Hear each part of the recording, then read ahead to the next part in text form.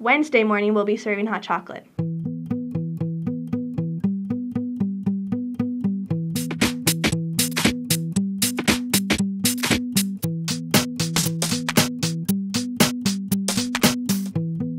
Good morning, LHS. I'm Janet. And I'm Kayla, and you're watching All in at 50.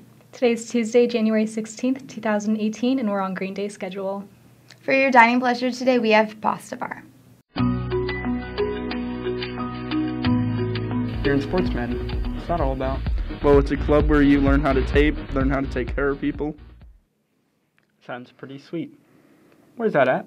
Uh, it's in Mr. Corhouse's room, room 103. And when is that at?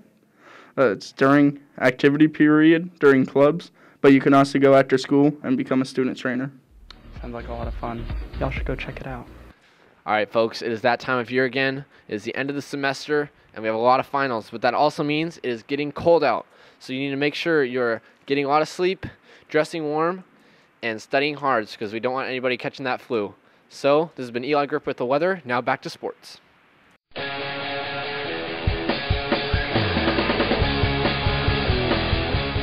So, Clayton, I heard you guys played Seon the other night. How'd that go?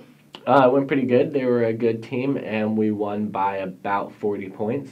Did anyone in particular play very well? Well, it was James Marsh's uh, second game back, and he played pretty good. He actually even hit a three. Yeah. Wow. Sounds good.